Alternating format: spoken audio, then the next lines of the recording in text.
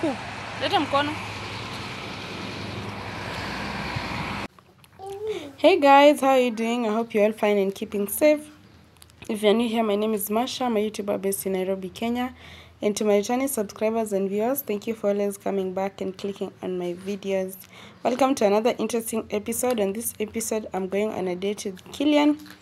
He's my two-year-old son, and uh, it was chaos for the better part of it. but it is what it is, okay? So you can see here, his eyes are still watery. He was crying before this food was brought. Do you know why? Not because he was hungry. He wanted to go and play outside. Sasa he wants to go and play outside, and we're still at a hotel that is in the heart of the CBD, my lord. How does he go out and play? so the food distracted him a bit. This chaos started in the house. He refused to wear the clothes that he chose for him, and he wanted to wear those that he chose for himself. I let him wear them because anyway, I'm practicing gentle parenting, and there's nothing wrong with the clothes he chose. So here we are. Let me not explain much. Just kula hii yenye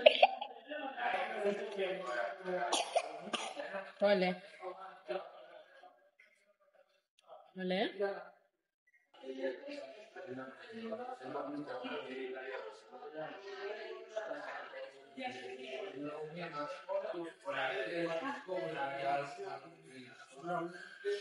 ngán, ngán.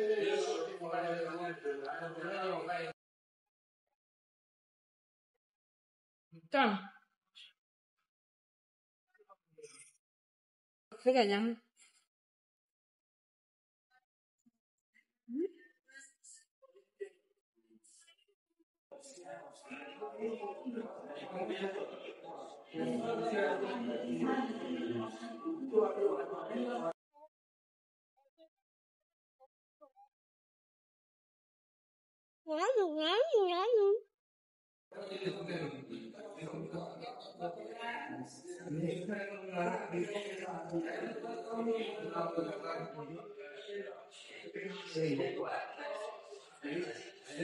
Una vlog?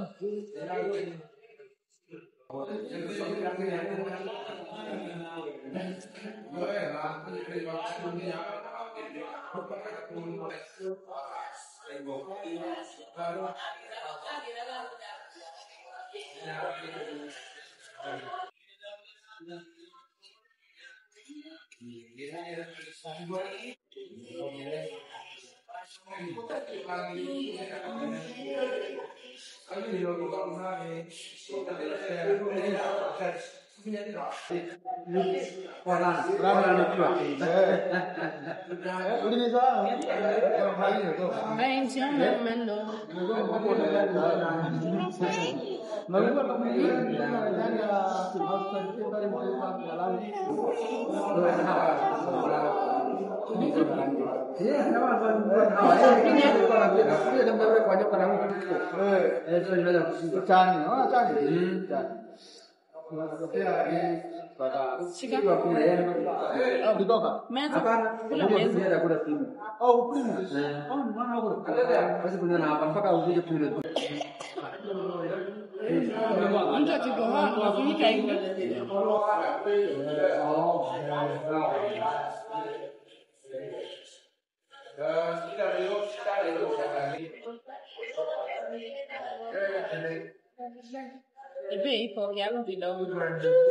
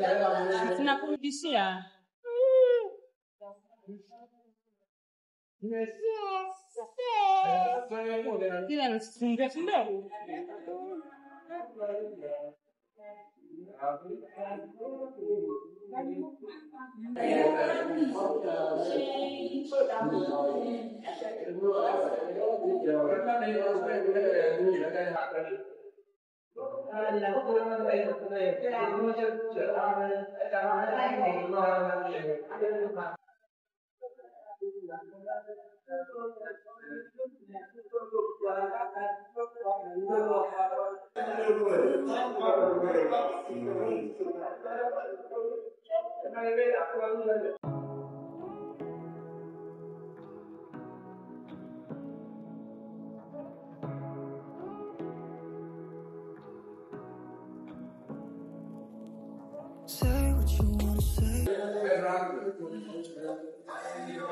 嗯嗯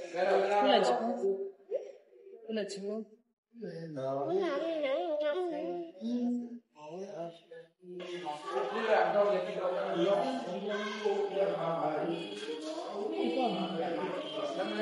嗯嗯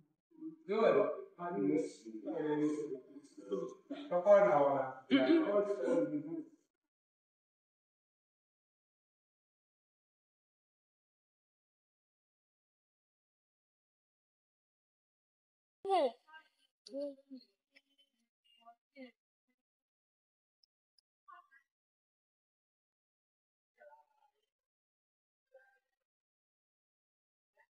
就是爱你，爱你就是我爱你。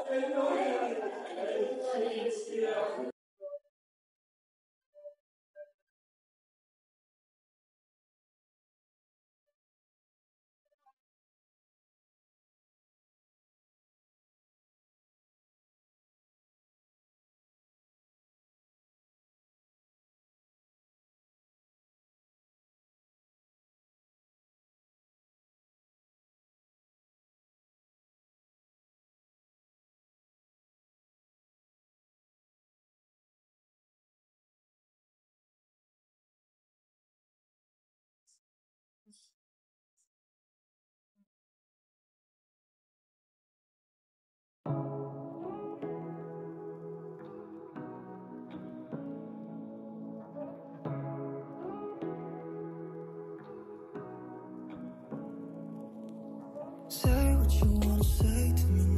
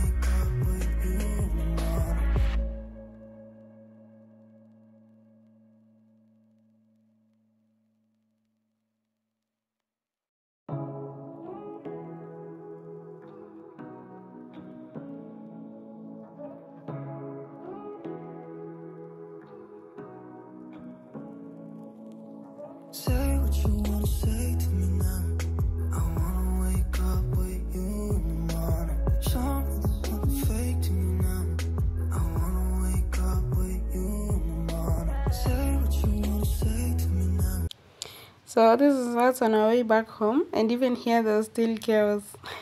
Killian refused totally that you should not carry him so he was standing in the tuk-tuk but I was holding him anyway it was a beautiful day. Kindly consider subscribing if you haven't. Like this video share the link with your friends and leave us a comment in the comment section.